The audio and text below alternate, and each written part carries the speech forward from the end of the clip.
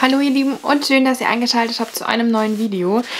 Ähm, ja, ich weiß gar nicht, wie ich dieses Video so richtig anfangen soll. Wir sind ja inzwischen jetzt in der zweiten Woche mit meinem Sub-Problem und heute will ich da einfach mal drüber reden. Also ich habe gerade noch mal gezählt, es sind inzwischen 101, 124 Bücher. Gestartet habe ich dieses Jahr mit 159. Das heißt, ich bin schon runter. Aber ich bin zwischenzeitlich auch wieder kräftig hoch, weil ich war mal unter 100. Und das Problem, warum ich meinen Sub so abbauen möchte oder warum er mich so belastet, ist einfach, A, finde ich es total schade, dass diese Bücher alle hier verstauben. Und es ist tatsächlich auch oft so, dass ich Bücher kaufe, weil ich sie gut finde oder sie mich ansprechen. Dann stelle ich sie hier ins Regal und zwei Jahre später sortiere ich sie aus, weil sie mich dann nicht mehr interessieren. Vor zwei Jahren hätten das aber totale Highlights sein können. Ähm, und eigentlich ist das dann ja auch rausgeschmissenes Geld. Ja. Ähm, das ist so der, das eine Problem, das ich damit sehe. Und das andere Problem ist, dass ich einfach ja mal wieder in den Buchladen gehen möchte und ohne schlechtes Gewissen Bücher kaufen möchte. Oh, ich sitze so blöd auf diesem Kisten und irgendwie habe ich das Gefühl, ich muss bequem sitzen, weil das könnte hier heute etwas länger dauern. Naja, gut. Da müsst ihr jetzt durch. Ihr liebt doch alle immer meine authentische Art.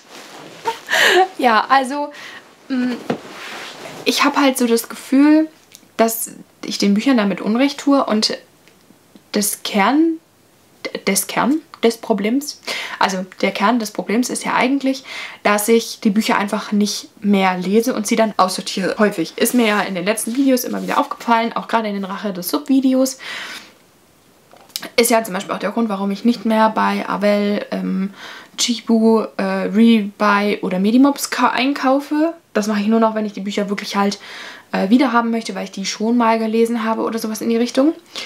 Ähm, ja, ihr seht, das Video hat keine richtige Struktur, weil ich selber nicht so richtig weiß, wie ich das machen möchte, aber ich möchte euch gerne halt ähm, erklären, warum es mir so geht und ich mir daraus auch so ein bisschen eine Erleuchtung für mich erhoffe. Ähm, das geht nicht darum, dass ich mich rechtfertige, das habe ich auch gar nicht so das Gefühl, das ist ja einfach auch mein Problem. Es ist ja auch ein hausgemachtes Problem. Ich könnte ja auch hinsitzen und sagen, ach, mein Sub, der interessiert mich nicht.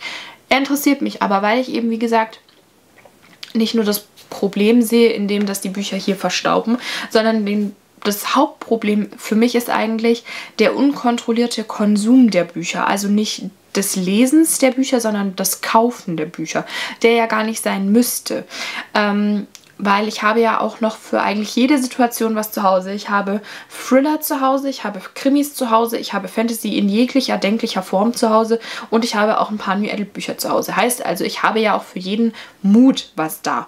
Ähm, und trotzdem finde ich, war mir selber immer wieder eine Ausrede, warum ich mir Bücher kaufe. Und sei es nur, um diesen kurzen Glücksmoment zu haben, was Neues gekauft zu haben, es schön ins Regal einräumen zu können. Aber lesen tue ich es dann nicht. Und was zeitweise tatsächlich, glaube ich, auch ein Problem ist, ähm, ich hoffe, es verunglimpft mich dafür nachher niemand, aber ich versuche ja mal sehr ehrlich und auch transparent zu sein und ich habe auch das Gefühl, dass es bei euch gut ankommt. Zumindest ist, ist es das, was ihr auch immer wieder kommentiert. Ähm, es ist natürlich auch so eine Sache, dass ich ähm, eine Zeit lang immer gemerkt habe, mit diesen XXL-Neuzugängen kriege ich mega viele Klicks. Und mal ganz offen und ehrlich, wenn man das hier macht. Natürlich ist das ein Hobby und natürlich macht es mir Spaß, mich hier hinzusetzen ähm, und in die Kamera zu reden. Und ich habe darüber auch ganz viele wunderbare Leute kennengelernt. Aber natürlich ist es schön, wenn man eine Bestätigung bekommt. Und egal wer, äh, der zu mir sagt, das ist nicht für ihn persönlich wichtig, das glaube ich nicht, weil jeder Mensch strebt ja irgendwo nach ähm, Bestätigung, nach äh, positivem Feedback und in dem Fall sind es ja die Aufrufe, die, die Daumen nach oben, die Kommentare, die ja dieses Gefühl auslösen. Und es war halt einfach wirklich so, dass diese ähm, Neuzugänge-Videos am meisten geklickt werden. Ich gucke die total gerne auch bei anderen. Das gebe ich auch zu. Die Frage ist doch nur, warum gucken wir das so gerne? Weil eigentlich kann uns die Person, die diese Videos ja dreht und also uns da die Bücher vorstellt, ja auch noch gar nicht viel zu den Büchern sagen. Es löst doch wieder nur im Hintergrund den nächsten Konsumgedanken aus, indem man sagt, boah, guck mal, der hat das, das, das und das gekauft und wenn der das kauft, dann will ich das auch haben. Jedenfalls ist es bei mir so. Falls das bei euch nicht der Fall ist, möchte ich hier niemandem zu nahe treten. Wie gesagt, das ist vielleicht auch so ein bisschen äh, Self-Healing für mich hier.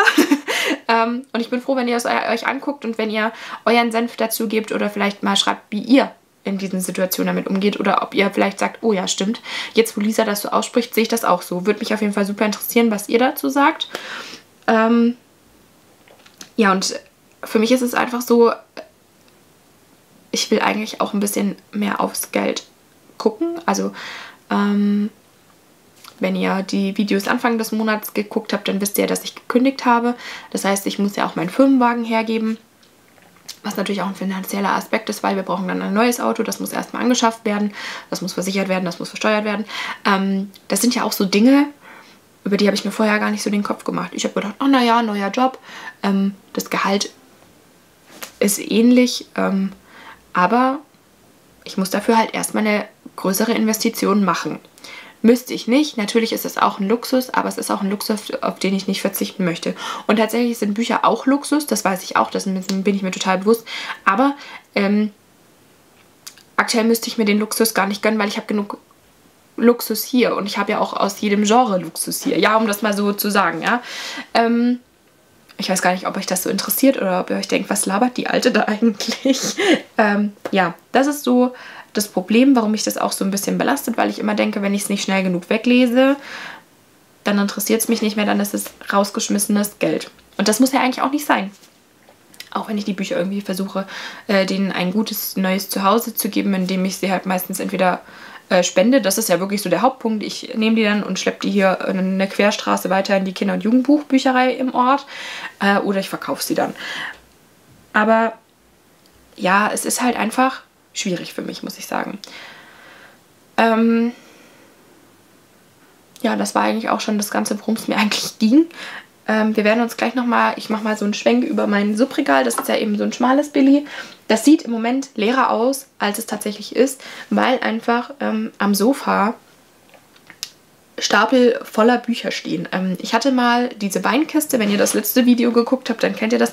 Diese alte Weinkiste war meine ähm, Challenge Kiste. Und ich hatte ja auch diesen Subwagen, in den ich da mal was versucht habe reinzulegen. Das hat auch nicht funktioniert. Und inzwischen sind halt, ja, fast so viele Bücher draußen aus dem Regal, wie hier im Regal drin stehen. Weil ich einfach nicht hinterherkomme. Tatsächlich ist auch das Problem, muss ich auch zugeben, ähm, seit der Buchmesse bin ich, was Rezensionsexemplare anfragen anbelangt, völlig eskaliert. Ähm, ja, und deswegen, ja, kommen auch die Bücher, die ich schon zu Hause habe, gerade zu kurz. Deswegen möchte ich auch unbedingt diesen Anlese-Vlog drehen oder Try Chapter Vlog, um eben da auch mal aussortieren zu können. Ja. Jetzt sitze ich hier und weiß gar nicht, was ich richtig sagen soll. Ich hoffe wirklich, ich habe euch jetzt damit nicht totgequatscht. Das war überhaupt nicht meine Devise. Ich will auch niemanden langweilen. Ähm, aber es tut gerade auch mal gut, das einfach mal sich von der Seele zu reden, weil ich glaube, das verstehen nur andere Büchermenschen vielleicht.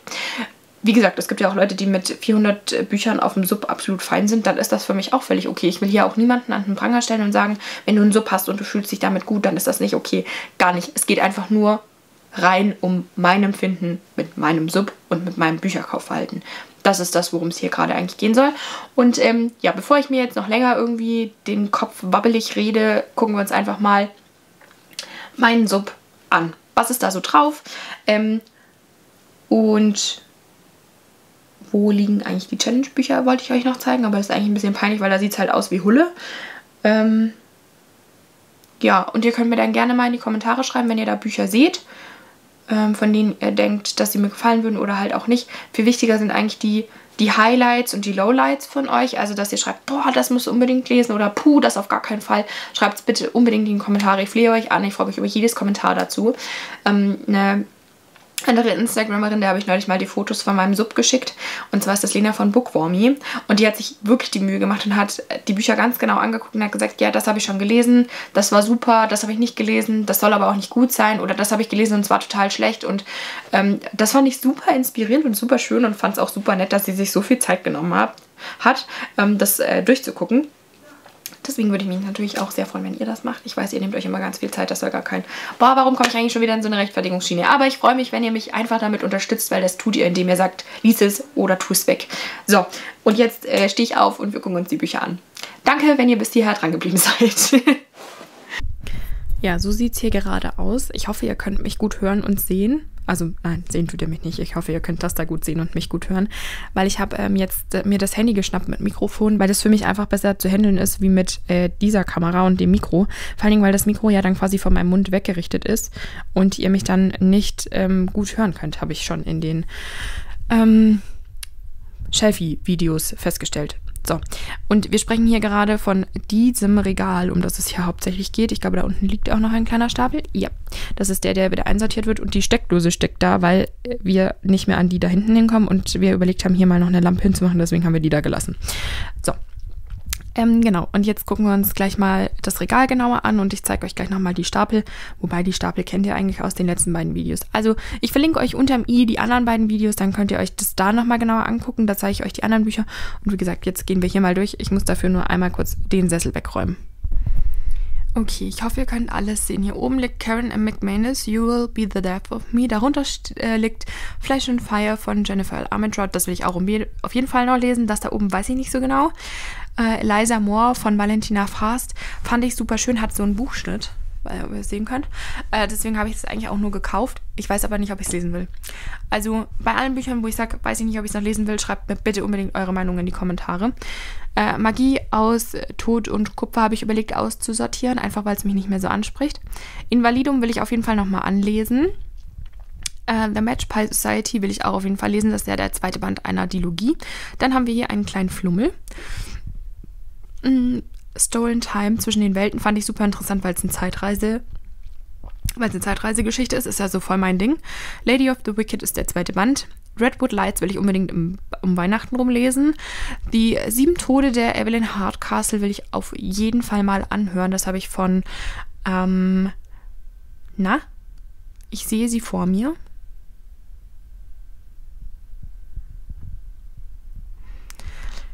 Die sieben Tode der Evelyn Hardcastle will ich auf jeden Fall mal lesen. Das habe ich von Carla bekommen. Ähm, letztes Jahr im Book Shopping Queen Weihnachtsedition Video.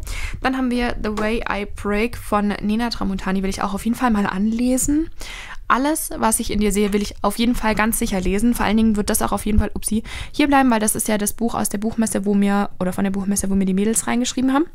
Der dritte Band von Lainey Taylor zwischen den Welten, das werde ich nur dann lesen, wenn ich den zweiten auch safe lese. Da bin ich mir ja noch nicht so ganz sicher. Dann haben wir hier unten Hardstopper 4, den werde ich auch auf jeden Fall lesen. New Chances hebe ich ja auch für so einen schlechten Tag. Äh, Fly into My Soul will ich auch auf jeden Fall noch lesen. Äh, Spanish Love Deception, Entschuldigung fürs Wackeln des Handy, also ich war beim Sport und jetzt tun mir die Schultern weh. Ähm, äh, Spanish Love Deception will ich eigentlich schon gerne noch lesen, weil das ja so ein TikTok-Hype ist. Und ich liebe ja den Trope Fake Dating in diesen Büchern. Nebelschimmer habe ich jetzt schon gehört, soll gar nicht so doll sein, wie, wie ich es empfunden habe. Werde ich halt mal anlesen und da mal gucken. Light It Up werde ich auch auf jeden Fall lesen, beziehungsweise später kommt nochmal und, ach nein, das ist Love It Up. Light It Up kommt noch. Will ich auch auf jeden Fall lesen, weil mir der erste Band so gut gefallen hat. Die Clans von Tokito will ich anlesen. Das Kind in dir muss Heimat finden, überlege ich tatsächlich auszusortieren. Und Lonely Hearts wird auch auf jeden Fall erstmal hier bleiben. Dann kommen hier ein paar Funkos. Dann haben wir hier drunter ähm, die unwahrscheinlich. Nee. Mann, ey. Die theoretische Unwahrscheinlichkeit von Liebe. Finde ich irgendwie super interessant, die Thematik. Und auch das zweite Buch spricht mich sehr an von der Autorin, deswegen will ich das auf jeden Fall mal anlesen. Die Königliche habe ich aber in 1 und 2 schon gelesen bzw. gehört. Den zweiten fand ich nicht so gut. Das ist tatsächlich auch der Grund, warum ich noch nicht weitergemacht habe. Elfenthron ist ja der dritte Band einer Trilogie, deswegen habe ich da noch nicht weitergelesen, muss ich erstmal zwei lesen. Den habe ich angefangen, aber noch nicht weitergelesen. Gut, Schwansee bleibt auch auf jeden Fall hier, das ist so ein Good Feelings Buch. Die Schokoladenvilla ist schon so oft ein- und wieder ausgezogen, dass ich nicht weiß, was ich damit machen soll. Also falls ihr hier Tipps habt, auch auf jeden Fall her damit. Blutmagie habe ich in Berlin gekauft, das heißt, das wird aus dem sentimentalen Wert auch auf jeden Fall hier bleiben. The Inheritance Games bleibt auch erstmal hier, da werde ich den ersten lesen und dann entscheiden.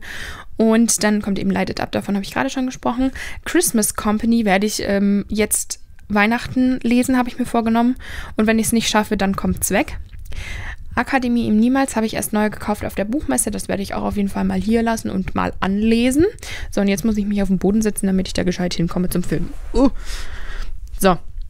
Ähm, wo ist mein Finger? Hier ist mein Finger. Regenglanz von Anja Oma ist ja quasi der Vorband von Nebelschimmer. Da will ich auch auf jeden Fall reinlesen.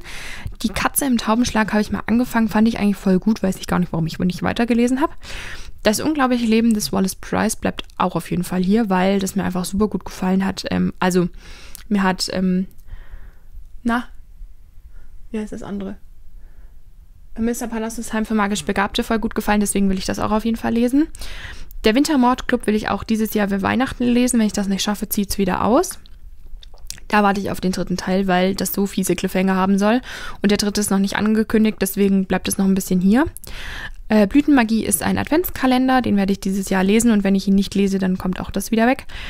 Äh, Juniper Moon hat äh, Maria von Fernwehwelten so geschwärmt und fand es so toll und deswegen wollte ich es unbedingt haben, habe aber auch noch nicht reingelesen. Also falls ihr hier was dazu zu sagen habt, auch gerne. Hier ist das gleiche Problem wie mit Die Königliche, deswegen habe ich da noch nicht weitergelesen. Das ist meine Alexa. Alexa, stopp den Timer. Ah, okay. Ähm, oh, jetzt habe ich einen Funke umgeworfen. Legendborn, der geheime Bund, wollte ich unbedingt vorher lesen. Also schon vor lange lesen. Dann kam ja raus, dass es eine Trilogie wird. Da ist noch nichts weiter bekannt, deswegen steht der noch hier. So, und jetzt gucke ich mal, ob ich euch hier hinkriege. Ja. Ähm, Crescent City habe ich Band 1 noch nicht gelesen, deswegen ist 2 noch hier. Magic Tales könnte ich eigentlich mal lesen, kommt auch auf jeden Fall nächsten Monat in der Rache raus. Das weiß ich safe, weil äh, da war Bloggernacht und die war halt im November und deswegen muss das auch November gewesen sein oder Anfang Dezember. Die goldenen Wölfe, davon haben so viele geschwärmt, deswegen ist das eingezogen. Ähm, Fate and Fire von Evie Lee, das ist so eine liebe, ähm, ja, Autorin auf Instagram. Ich finde die total nett. Ähm, das Buch gibt es inzwischen auch als Hörbuch, deswegen werde ich da auf jeden Fall als Hörbuch reinhören. Das ist der zweite Teil, da habe ich den ersten noch nicht gelesen. Und das da sind auch voran, also weitere Bände einer Reihe, da habe ich auch die anderen noch nicht gelesen, deswegen ja. Und dann haben wir hier unten noch drei Bände einer Reihe, da habe ich auch den ersten noch nicht gelesen, deswegen kann ich da auch noch nicht viel zu sagen. Und hier haben wir noch welche, die ich quasi in dem äh, meine Challenge-Bücher vorstelle. Ja, wie ihr es sehen könnt, so. Äh, da habe ich da schon mehr dazu gesagt, deswegen liegen die eigentlich auch wieder hier. Genau. Ja, und das ist der Rest meines Regals. Das ist halt schon gelesen. Ah, halt, hier kommen wir noch zu Büchern, die ich noch nicht gelesen habe. Schreibt mir auf jeden Fall super gerne zu den Büchern ähm, von, na, wie heißt die gleich noch? Cassandra Clare, wie sie euch gefallen haben und was ihr dazu sagt. Ich habe mich dazu durch Clockwork Angel absolut durchgequält. Deswegen würde mich sehr interessieren, ob ihr sagt, es wird besser oder es wird nicht besser. Weil wenn es nicht besser wird, dann ähm, hadere ich da schon sehr lange mit mir, ob ich die nicht alle einfach mal wieder entsorge. Also was heißt entsorgen nicht, aber die aussortiere. Ja, und jetzt zeige ich euch gleich noch mein peinliches Chaos. So, und das hier ist tatsächlich irgendwie so ein bisschen der Stapel meiner Schande. Das sind Bücher, die aus irgendwelchen Challenges raus sind, die ich jetzt eben anlesen möchte. Also die hier möchte ich anlesen. Und das sind jetzt noch so Bücher, die auf jeden Fall hier bleiben. Ich weiß gar nicht, man kann das oberste, doch, man kann sehen, das ist das von Avicii. Ähm, die ich zeitnah lesen möchte, aber halt, die auf jeden Fall hier bleiben. Das ist noch mein Subwagen, der ist inzwischen halt leer, weil ich nicht weiß, was ich da reinstellen soll oder wie ich sie sortieren soll. Und wie gesagt, die hier möchte ich auf jeden Fall zeitnah in diesem Lesevlog anlesen und dann eben entscheiden, ob ich sie aussortiere oder nicht. Und die stehen hier halt wirklich teilweise schon Monate oder halbe, fast ein halbes Jahr. Und ich weiß halt nicht, wie ich damit umgehen soll. Und weil die hier halt so präsent stehen, fallen die mir halt auch immer wieder auf. Und deswegen glaube ich, stört es mich auch mehr, wie wenn ich sie im normalen Shelfie lasse. Aber irgendwie war das ja auch Sinn und Zweck, ja. Deswegen habe ich die ja so dahingestellt. Ja, mal sehen. Ähm, also, falls ihr hier auch irgendwie noch ein Buch entdeckt, schreibt mir dazu gerne auch eure Meinung. Ähm, ja, das andere Chaos möchte ich euch gerade nicht zeigen, dafür schäme ich mich ganz doll, weil da sieht es aus wie Hulle. Ich habe noch ein paar angelesene, angefangene Bücher, die habe ich euch auch in einem Video gezeigt. Da könnt ihr auch gerne mal vorbeigucken, wenn ihr möchtet. Und ähm, ja, nächstes Mal geht es weiter mit meinen äh, Büchern, die ich schon aussortiert habe, also wo ich schon entschieden habe, von denen trenne ich mich. Da freue ich mich schon drauf, bin ich sehr gespannt. Ja. Jetzt habe ich eben überlegt, ob ich das einfach so stehen lasse mit meinem Stapel und mich gar nicht mehr verabschiede, aber irgendwie fände ich es auch blöd. Warum ich jetzt auch immer in meiner Kamera am Handy so glänze. Keine Ahnung, ich habe eine neue Tagescreme mit Make-up, vielleicht deswegen. Sieht nicht so hübsch aus. Ja, gut, da müssen wir jetzt alle durch. ja, das war mein Video zu meinem Sub, mein Problem, mein Rumgerede und die Bücher, die auf meinem Sub sind. Und ich freue mich auf jeden Fall sehr, wenn ihr irgendwas dazu zu sagen habt. Und dann wünsche ich euch jetzt einen tollen Tag, Nachmittag oder Abend. Fühlt euch gedrückt und bis zum nächsten Mal. Ciao, ihr Lieben!